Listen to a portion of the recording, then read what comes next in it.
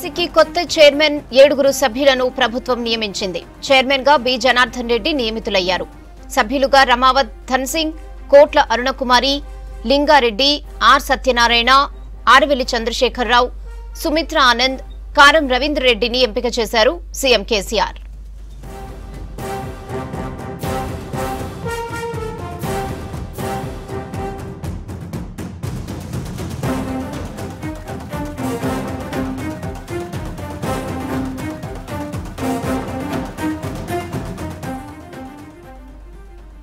టీఎస్పీఎస్సీకి కొత్త చైర్మన్ ఏడుగురు సభ్యులను ప్రభుత్వం నియమించింది. చైర్మన్గా బి జనార్దన్ రెడ్డి నియమితులయ్యారు.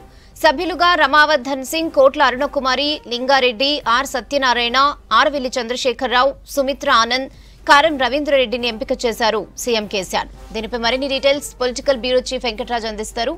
వెంకటరాజు చాలా రోజుల తర్వాత టీఎస్పీఎస్సీకి చైర్మన్తో సహా సభ్యులను కూడా నియమించింది సర్కార్. ఏంటి అప్డేట్స్? ప్రభుత్వం పైన హైకోర్టు తీవ్రంగా స్పందించింది. అంటే గత నాలుగు వారాల క్రితం హైకోర్టు ఈ విషయంపై విచారణ జరుగుతున్న సమయంలో ఎందుకు మీరు పబ్లిక్ సర్వీస్ కమిషన్ ఖాళీగా ఉంచారు? పూర్తిగా చైర్మన్తో పాటు మిమ్మల్ని అందరూ కూడా ఖాళీగా ఉంచారు.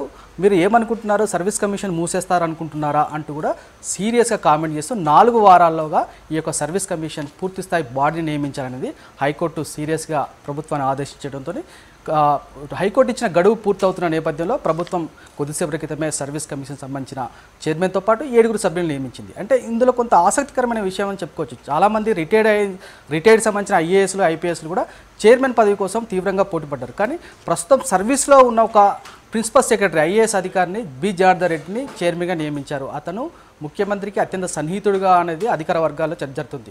ప్రస్తుతం అతను గతంలో జిహెచ్ఎంసీ కమిషనర్ చేశారు. ప్రస్తుతమైన అగ్రికల్చర్ సంబంధించిన బాధ్యతలు చూస్తున్నారు. ఇతనికి ఇంకో సర్వీస్ ఐఏఎస్గా పదవి విరమణ చేయడానికి ఇంకో సంవత్సరం గడువు ఉంది.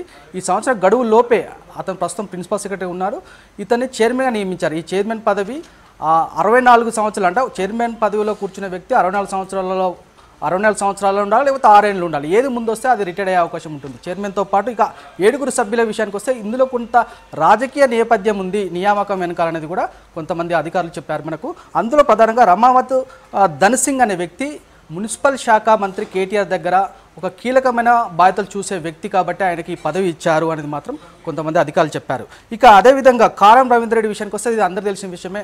మొదటి నుంచి కూడా తెలంగాణ ఉద్యోగంలో ఉద్యోగ సంఘాలకు సంబంధించిన నాయకుడుగా అతను అతను కొంత పాత్ర పోషించిన తర్వాత ఉద్యోగులు ప్రభుత్వానికి కొంత విభేదాలు వచ్చినాయి. ఉద్యోగులకు సంబంధించిన విషయాల్లో ప్రభుత్వం సరిగా స్పందించలేదు పీఆర్సీ వేయలేదు ఉద్యోగులకు సంబంధించిన పెండింగ్ ఇష్యూస్ సాల్వ్ చేయట్లేదని కూడా చాలామంది ఉద్యోగులు అసహనం ఉన్న సమయంలో కారం రవీందర్ రెడ్డి ఆ రోజు టీఎన్జిఓ నాయకుడిగా ఉండి ఈ ఉద్యోగులను సంతృప్తి పరిచే బాధ్యతలు ప్రగతి భవన్ ఇచ్చిన నేపథ్యంలో ఆయన పూర్తిగా చక్కబెట్టాడు అనేది కూడా ఆ మధ్యలో చర్చ జరిగింది. ఆ నేపథ్యంలోనే కారం రవీందర్ రెడ్డికి ఈ మెంబర్లో అంటే ఏడుగురు మెంబర్లో ఒక మెంబర్గా కారం రవీందర్ రెడ్డి ఉన్నారు.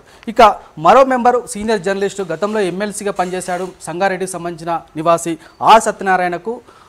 ఈ మెంబర్స్ కూడా నియ- మెంబర్గా ఆయనకు అవకాశం ఇచ్చారు. ఇక మిగతా నల నలుగురు విషయానికి వస్తే కొంతమంది అనామకులు ఉన్నారనేది కూడా కొంతమంది రాజకీయ నాయకులు చెప్పారంటే ఈ సర్వీస్ కమిషన్ సంబంధించిన ఉత్తర్వులు బయటకు వచ్చిన తర్వాత కొంతమంది నాయకులతో మనం మాట్లాడినప్పుడు ఎవరు ఎవరు ఉన్నారు ఇలా నేపథ్యం ఏంటి రాజకీయ నేపథ్యం ఏంటి అనే విషయాన్ని ఆరాధించినప్పుడు ఇద్దరు సంబంధించిన మహిళల విషయంలో పెద్దగా పరిచయం లేని వ్యక్తులు మాత్రమే ఉన్నారు. వారు ఎలా ఎంపిక చేశారు వాళ్ళకున్న రాజకీయ నేపథ్యం ఏంటి ఎవరి ద్వారా వారు ఈ బోర్డులకు వచ్చారనేది మాత్రం మాకు పెద్దగా తెలియదు అని చెప్తున్నారు. మొత్తానికి ఇందులో ప్రధానంగా ఒక ఐఏఎస్ అధికారి చైర్మన్గా జనార్దన్ రెడ్డి అదేవిధంగా ఉద్యోగుల సంఘానికి సంబంధించిన రిటైర్డ్ నాయకుడు కారం రవీంద్ర రెడ్డి అదేవిధంగా జర్నలిస్టు గతంలో తెలంగాణ ఉద్యమంలో కీలక పాత్ర పోషించిన వ్యక్తిగా పేరున్న ఆర్ సత్యనారాయణ ఉందని చెప్పుకోవచ్చు రెహనా. ఓకే వెంకటరాజు.